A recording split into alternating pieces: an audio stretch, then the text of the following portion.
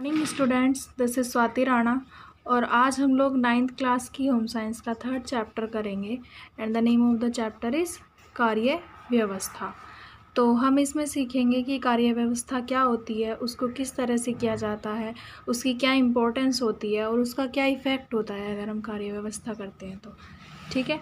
तो इसके लिए सबसे पहले कार्य व्यवस्था का मीनिंग देखते हैं, क्या होता है. इसमें दिया गया है कि गृह कार्य व्यवस्था का अर्थ है कि ग्रह के समस्त कार्य इस प्रकार योजना बनाकर किए जाएँ, जिससे सभी कार्य सुचारू रूप से संपन्न हो जाएँ तथा परिवार के धन, समय व श्रम की बचत हो सके। इस प्रकार गृह कार्य व्यवस्था के लिए ऐसा कार्य विभाजन किया जाए, जो विभिन्न साधनों, सदस्यों संख्या तथा कार्य क्षमता के अनुसार हो। मीन्स क्या हुआ कि गृह कार्य व्यवस्था का अर्थ तो इसमें थ्री वर्ड्स होते हैं, एक ग्रह, एक कार्य और एक व्यवस्था। यानी कि हमें व्यवस्था करनी है किस चीज़ के लिए? ग्रह के कार्यों को करने के लिए। यानी कि घर के कार्यों को करने के लिए हमें एक व्यवस्था करनी है। उसमें ये देखना है कि हमारे घर में क्या क्या कार्य हैं, उनको किस प्रकार से किया जाना है, उन्हें किस समय पर किया जाना है, उसके लिए क्या क्या आवश्यकताएँ होंगी किस तरह से हमें उस काम को करना है, अगर उसमें कोई परेशानी है तो हमें उस काम को, उस परेशानी को दूर करते हुए पूरा किस तरीके से करना है। तो ये सब अगर प्लानिंग के अकॉर्डिंग होगा पहले से ही तो काम करते वक्त फिर हमें ज़्यादा प्रॉब्लम नहीं होगी, क्योंकि हमें पता होगा पहले से ही कि इसमें ये समस्या आ सकती थी। हम उसका निदान भी पहले से ही सोच कर रखेंगे। ठीक है? तो ये होती है गृह कार्य व्यवस्था, यानी कि घर के कार्यों को करने के लिए जो हम व्यवस्था करते हैं प्लानिंग करते हैं, वो। नेक्स्ट इसमें दिया गया है कि गृह कार्य व्यवस्था का संबंध दो प्रक्रियाओं से होता है। पहली है समय व्यवस्था और दूसरी है ऊर्जा व्यवस्था। यानी कि जब हम गृह कार्य करते हैं तो उसमें दो प्रक्रियाएँ हमें अपनानी होती हैं, दो चीज़ों का हमें ध्यान रखना होता है। पहली है समय व्यवस्था और दूसरी ऊर्जा व्यवस्था। समय व्यवस्था क्या होती है कि हमें ये देखना होता है कि कोई कार्य किस समय पर किया जाना है? उसके लिए निश्चित समय क्या है? हम उसके लिए एक समय निश्चित करेंगे और हमें उस समय पर ही वो कार्य पूरा करना है, तभी हमारी जो व्यवस्था है वो सही ढंग से हो पाएगी। उसके लिए चाहे एक दिन का काम हो, वो एक हफ़्ते का हो, एक महीने का हो, उसको हम उस काम के अकॉर्डिंग ही डिवाइड कर लेते हैं।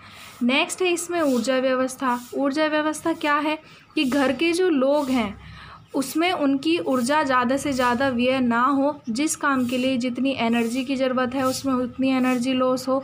ऐसा ना हो कि हमें करने हैं दिन में दस काम और हम सारे घर के लोग एक ही काम में लग गए और वो इतनी बुरी तरह लग गए कि हमें पता ही नहीं है उसमें करना क्या था और कैसे करना था। हम सब एक ही काम को तो करके थक गए, पता चला बाकी के काम हमारे रह गए, ठीक है? तो इसमें ऐसा ना हो, मानसिक थकान और शारीरिक थकान इंसान को तब ज़्यादा होती है जब वो एक काम को करने के लिए बार बार उठता, बैठता है या गति करता रहता है, ठीक है?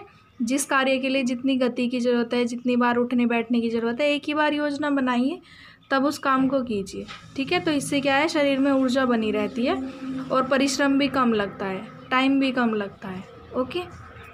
नेक्स्ट इसमें दिया गया है कि गृह कार्य व्यवस्था का महत्व क्या है, यानी कि हम किस लिए उसका इस कार्य को करते हैं, गृह कार्य व्यवस्था को। तो इसमें दिया हुआ है कि जीवन में सरलता, सुचारुता तथा उत्तमता को प्राप्त करने के लिए, यानी कि हमारा जो जीवन है, उसमें एक सरलता आए, कार्यों को करने का हमें पता चले, वो सुचारू रूप से होते रहें रेगुलरली वो काम होते रहें, उनमें किसी भी तरह की अड़चन ना आए, कोई काम हमारा रुके ना, और उत्तमता, यानी कि सर्वश्रेष्ठ ढंग से हम उस कार्य को पूरा कर सकें। तो इस का तो इसका फ़र्स्ट पॉइंट दिया हुआ है कि घर परिवार की आवश्यकताओं की पूर्ति, यानी कि हम गृह व्यवस्था किस लिए करते हैं, किस लिए उसका महत्व होता है कि हमारे जो घर परिवार की आवश्यकताएँ हैं, उनकी पूर्ति हो सके। दूसरा है घर परिवार के वातावरण को उत्तम बनाना, यानी कि सभी लोग एक दूसरे से सौहार्द सौहार्दपूर्ण और सहयोगात्मक ढंग से एक दूसरे की हेल्प करके हर कार्य को पूरा करें और कहीं पर भी तनाव ना हो, कोई विरोध की आशंका ना हो और परिवार का जो कार्य है, वो सदस्यों ने उत्तम गृह कार्य व्यवस्था को अपना लिया है तो जो कार्य है हमारे घर का, वो सही ढंग से पूरी तरह से पूरा हो जाएगा बिना किसी परेशानी के। नेक्स्ट इसमें दिया गया है, गृह कार्य व्यवस्था, श्रम विभाजन में सहायक होती है। श्रम विभाजन श्रम विभाजन बोलते हैं, कार्य का विभाजन करना, यानी कि किसकी कितनी मेहनत लगेगी। ये ना हो कि एक ही व्यक्ति को सारे काम सौंप दिए गए हैं कि वही घर के बाहर के सब काम करेगा, जितने भी घर कार्य होते हैं।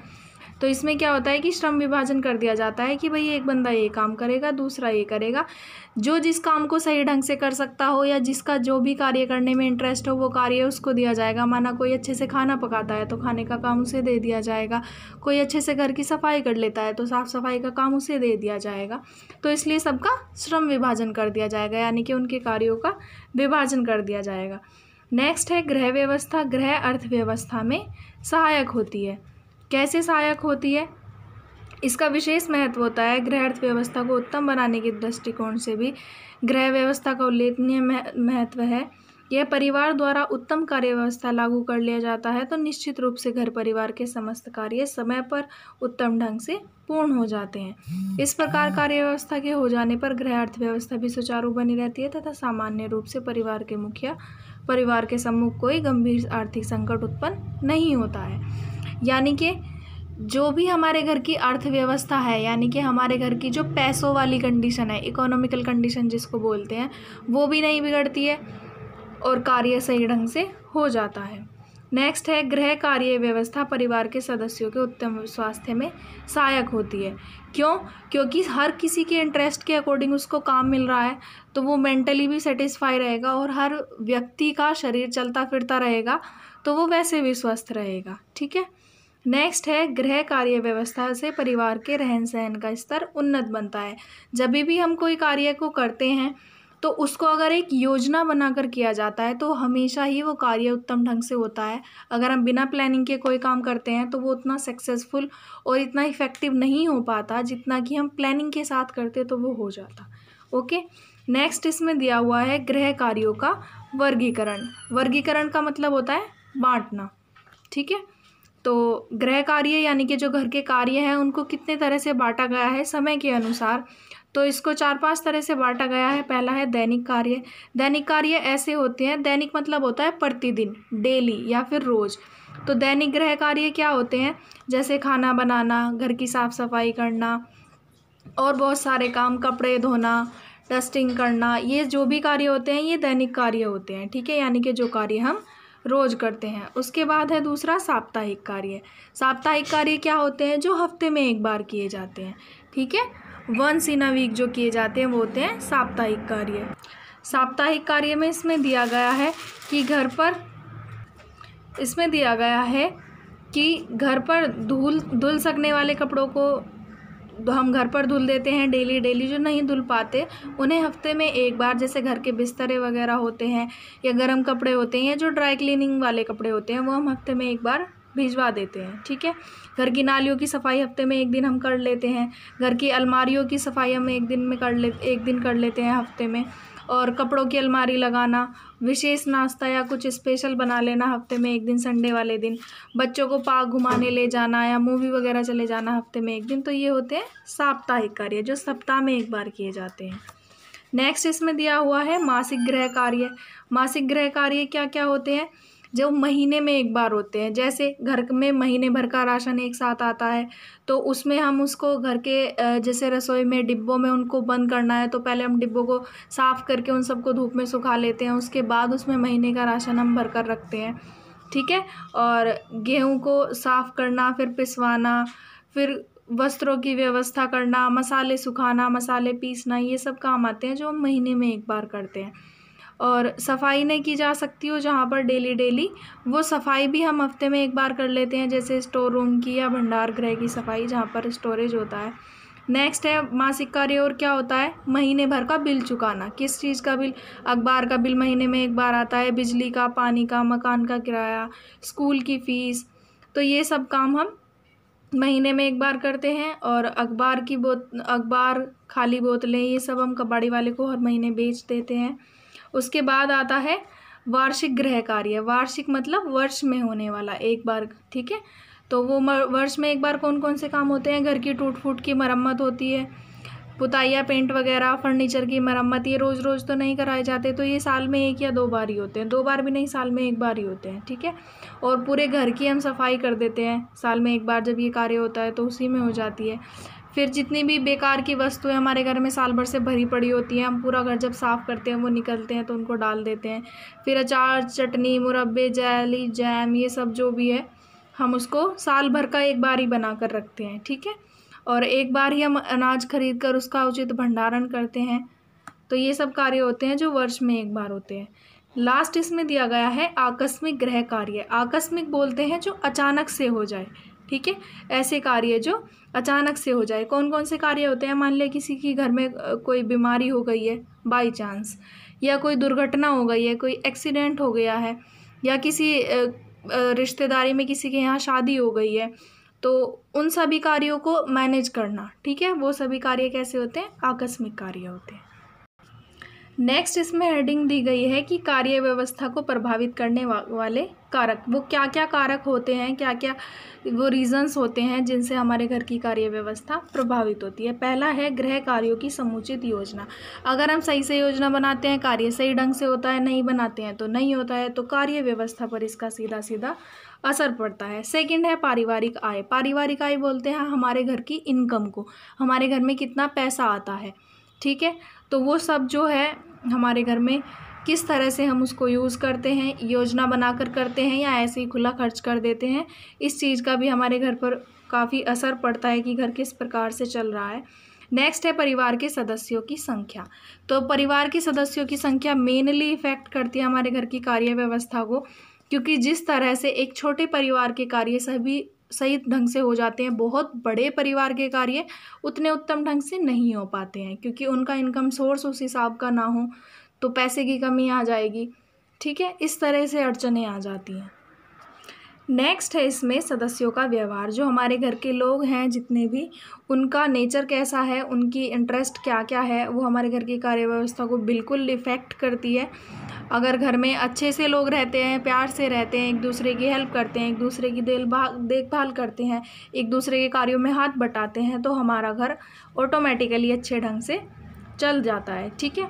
नेक्स्ट है परिवार कल्याण। परिवार कल्याण से आश्रय है कि परिवार से संबंधित सभी पक्षों को उत्तम यानी कि अधिक उत्तम बनाने का प्रयास करना, यानी कि परिवार का कल्याण करना। हमें इस तरह से अपने परिवार को लेकर चलना है कि उसके लेवल को हम डेवलप कर सकें। अगर आज हम सेकंड लेवल पर हैं तो हम उसको फ़र्स्ट लेवल पर ला सकें। फ़र्स्ट पर है तो उसको टॉप लेवल पर ला सकें। ठीक है? यानी कि हमारे जिससे परिवार का कल्याण हो सके। उसके बाद है उपयुक्त साधनों का प्रयोग। हमारे घर में जितने भी साधन होते हैं, जैसे सिलाई मशीन हुई, कपड़े धोने की मशीन हुई, ओवन वगैरह हुए, माइक्रोवेव हुए, फ्रिज हुए, अगर इनका प्रयोग करना हमें सही से आता है तो हमारा काम बहुत ज़्यादा ईजी हो जाता है। अगर हमें इन सब साधनों का उपयोग करना नहीं आता तो हमारे घर में होते हुए भी हमारे लिए यूज़लेस होते हैं। नेक्स्ट है इसमें कार्यविधि का अनुभव तथा ज्ञान। कार्य विधि यानी कि कार्य करने का तरीका। तो कार्य एक काम को कोई भी व्यक्ति कई ढंग से कर सकता है। जितने लोग होते हैं, हर उस काम को अलग अलग ढंग से करते हैं। तो उसके लिए सही विधि क्या होती है कार्य को करने की? ठीक है, जिससे क्या हो, हमारा समय भी बच जाए और हमारा श्रम भी बच जाए। तो उसमें ज्ञान होना चाहिए कार्य को करने का, उसकी विधि का पता होना चाहिए कि ये काम किस तरह से होगा। और अनुभव अगर किसी के पास हो उस काम को करने का, एक बार पहले कोई वो काम कर चुका है, कोई टास्क है तो दूसरी बार उसे करने में उतनी प्रॉब्लम नहीं होती है, ठीक है। लास्ट में आता है मूल्यांकन। मूल्यांकन, क्या होता है? मूल्यांकन बोलते हैं कि जब हमने कार्य कर लिया है, उसके बाद हम ये देखते हैं कि ये कार्य सफल हुआ या ये कार्य सफल नहीं हुआ? अगर हुआ तो किन कारणों से हुआ? अगर नहीं हो पाया तो किन कारणों से नहीं हो पाया? तो ये सब देखना लास्ट में कि हमारे कार्य में क्या हुआ, कैसे हुआ, क्यों हुआ, क्यों नहीं हो पाया, इसको बोलते हैं मूल्यांकन। ठीक है? नेक्स्ट है इसमें गृह कार्य व्यवस्था पर प्रतिकूल प्रभाव डालने वाले कारक। प्रतिकूल बोलते हैं उल्टा, यानी कि जिनका ओपोजिट इफ़ेक्ट उल्टा इफ़ेक्ट हमारे कार्यों पर पड़े। तो इसमें फ़र्स्ट पॉइंट है, आवश्यक ज्ञान एवं सूझबूझ की कमी। अगर हमें किसी कार्य को करने के लिए ज्ञान की आवश्यकता है, हमारे पास वो ज्ञान नहीं है तो वो कार्य सही ढंग से नहीं हो पाता। का नेक्स्ट है, कार्य व्यवस्था के लिए आवश्यक साधनों की कमी। अगर हमारे पास किसी कार्य को करने के लिए साधन ही नहीं है, माना हमें सिलाई करनी है, हमारे पास सिलाई मशीन नहीं है, सुई भी नहीं है, धागा भी नहीं है तो वो काम हो ही नहीं पाएगा, ठीक है? तो साधनों की कमी हो जाना भी हमारे कार्य पर ओपोजिट इफ़ेक्ट डालती है। नेक्स्ट है सदस्यों का सहयोग तथा पारिवारिक कलह। अगर किसी परिवार में कलह रहती है या जो घर के सदस्य हैं, वो आपस में सहमति बनाकर एक दूसरे के साथ प्यार से या हेल्पफुल नेचर से नहीं रहते हैं तो घर ऑटोमेटिकली अच्छे से नहीं चल पाता है। उसमें काम भी ढंग से नहीं हो पाते, जिसका जो मना है वो कर देता है, ठीक है? नेक्स्ट इसमें दिया गया है कार्य व्यवस्था के सिद्धांत। यानी कि जब हम कार्य व्यवस्था करते हैं तो उसमें क्या क्या चीज़ें हमें ध्यान में रखनी चाहिए? फ़र्स्ट है योग्यता तो योग्यता अनुसार कार्य का विभाजन। यानी कि घर में जितने लोग हैं, उनकी कैपेसिटी के अकॉर्डिंग ही हमें उनके काम बांटने हैं। ये नहीं कि किसी बच्चे को दे दिया कि भाई तू घर, बाहर से कमा कर ला, हमारे घर का खर्च चला और परिवार के मुखिया को बोल दिया कि आप स्कूल जाओ या आप घर में बैठ कर खाना पकाओ। ठीक है? ऐसा नहीं होता है। जिसका जो कार्य होता है, उसको वही कार्य दिया जाना चाहिए। नेक्स्ट है कि सभी कार्य करें। ऐसा नहीं हो कि एक बंदा तो सुबह से शाम तक काम कर रहा है, बाकी लोग बैठे हैं। ऐसा नहीं होना चाहिए, सभी लोगों को काम करना चाहिए घर में। नेक्स्ट है आय पर अधिकार। आय पर जितना अधिकार पति का होता है, उतना ही अधिकार पत्नी का होता है। भले ही उस आय की जो इनकम जो वो है, वो उसको पति कमा कर ला रहा हो, चाहे पत्नी कमा कर ला रही हो। नेक्स्ट है, मकान आवश्यकता अनुसार हो।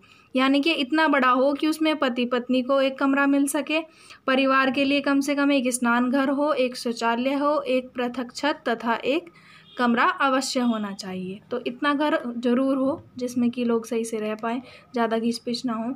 नेक्स्ट है, महिलाओं का घर संभालना। घर घर में सब एक समान होते हैं, ना कोई छोटा होता है, ना कोई बड़ा होता है। तो इसलिए जो घर संभालने का काम होता है वो महिलाओं का होता है। और महिलाएँ अगर घर को सही ढंग से चला पाती हैं, अगर हमारी मम्मी ही घर को सही ढंग से नहीं चला पा रही, अगर वो ही अपने काम सही ढंग से नहीं कर रही हैं तो फिर घर में कोई भी नहीं करेगा, ठीक है? तो महिलाओं पर घर का सबसे ज़्यादा कार्य का भार होता है। नेक्स्ट है प्रेरणा की भावना। प्रेरणा की भावना मतलब मोटिवेट करना, यानी कि बड़े हमारे घर के इस तरह के कार्य करें कि हमारे छोटे बच्चों को, घर के छोटे बच्चों को उससे कुछ प्रेरणा मिल सके, वो उससे कुछ सीख सकें। नेक्स्ट इसमें आता है गृह कार्य व्यवस्था में गृहिणी का स्थान और कर्तव्य। गृहिणी होती है जो हमारे घर की मेन लेडी होती है ओके तो जब गृह कार्य व्यवस्था होती है तो हमारे घर की गृहिणी का उसमें क्या क्या स्थान होता है और क्या क्या उसके कर्तव्य होते हैं।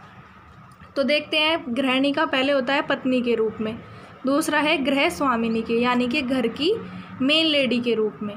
उसके बाद है उत्तम गृह व्यवस्था की स्थापना। कौन कर सकती है? एक लेडी कर सकती है, क्योंकि उसको पता होता है कि घर में किसका इंटरेस्ट किस चीज़ में है, किसको किस चीज़ की ज़रूरत है तो मैं किसको क्या काम दूँ जो वो सही से कर पाए, ठीक है? तो गृह की उत्तम व्यवस्था की स्थापना कौन कर सकती है? सिर्फ़ एक लेडी कर सकती है। उसके बाद है संबंधियों का व्यवहार, सुखद वातावरण का निर्माण, अर्थव्यवस्था को सुदृढ़ बनाना। ये सब काम होते हैं हमारे घर की लेडी के, जो मेन लेडी होती है। आवश्यक वस्तुओं की खरीदारी करना, उनका संरक्षण करना, अनावश्यक वस्तुओं को ना खरीदना, जो एक्स्ट्रा के खर्चे हैं, उन पर बिना मतलब खर्च ना करना, जितना ज़रूरत हो उतना ही खर्च करना। और उसके बाद होता है माता के रूप में। जो एक और रोल होता है हमारे घर की लेडी का, वो होता है माता के रूप में। नेक्स्ट इसमें दिया गया है समय, अर्थ एवं श्रम की बचत के सहायक उपकरण। यानी कि जिनसे ऐसे उपकरण, ऐसे इंस्ट्रूमेंट्स जिनसे हमारा समय भी बचे हमारा अर्थ यानी कि धन धन भी बचे और श्रम यानी कि हमारी मेहनत भी बचे। तो वो क्या क्या होते हैं? साधन। दो होते हैं, एक भौतिक और एक अभौतिक। भौतिक वो होते हैं जो अमानवीय होते हैं, जैसे कुकर हुआ, गैस सिलेंडर हुआ, मशीन हुई कपड़े धोने की। इस तरह के साधन होते हैं, अमानवीय या फिर भौतिक। और मानवीय साधन जो हमारे परिवार के सदस्य होते हैं, ठीक है? तो भौतिक साधनों में इसमें दिखाया गया है, गैस स्टोव, इससे हमारा काम ईजी हो जाता है। बत्तियों वाला स्टोव, बिजली वाला चूल्हा, इन सबसे हमारा काम इजी हो जाता है। और बिजली की केतली, बर्तन धोने की मशीन, खाना बनाने की मशीन, ये सब चीज़ें अगर हों जिस जगह पर, उस जगह पर उनका काम बहुत इजी हो जाता है। रेफ्रिजरेटर होता है, कॉफ़ी परकोलेटर होता है, जिससे झागदार वाली कॉफ़ी बनाई जाती है, और विद्युत चलित उपकरण, ये हमारे मिक्सर जूसर होता है। तो ये सब उपकरण ऐसे होते हैं जिनसे हमारे घर का कार्य सही ढंग से हो जाता है, और उसमें समय की, धन की और श्रम की बचत हो जाती है। नेक्स्ट है इसमें अभौतिक साधन या मानवीय साधन। वे क्या क्या होने चाहिए? ज्ञान, यानी कि घर के लोगों में ज्ञान होना चाहिए। उनमें शक्ति होनी चाहिए किसी भी कार्य को करने की, जो काम उनको दिया जाए। नेक्स्ट है रुचि, उनमें रुचि होनी चाहिए इंटरेस्ट होना चाहिए काम को करने के लिए। नेक्स्ट है मनोवृत्ति। यानी कि मनोवृत्ति का मतलब है हमारे मन की जो सोच होती है, हमारी जो सोच होती है वो सबकी अलग अलग होती है। कुछ किसी भी परिस्थिति में ढल जाते हैं, हमारे घर के कुछ लोग परिस्थिति में नहीं ढल पाते हैं तो वो बहुत हद तक डिपेंड करती है कि हमारे घर का कार्य व्यवस्था किस प्रकार का है, ठीक है? उसके बाद है समय। समय कार्य व्यवस्था सरल बनाती है, यानी कि हम जब कोई भी कार्य करते हैं तो उसमें हमें पता होना चाहिए कि ये किस टाइम पर होना है, कैसे होना है। ठीक है? और उसके बाद लास्ट में आता है योग्यता। यानी कि हमारे घर में सभी लोग योग्य होना चाहिए कि जिसको जो काम दिया जा रहा है वो उस कार्य को कर सके। लास्ट में है समय एवं श्रम के बचाव के उपाय। यानी कि समय और श्रम किस तरह से हम बचा सकते हैं, उसके उपाय इसमें कुछ दिए गए हैं, देखते हैं क्या है।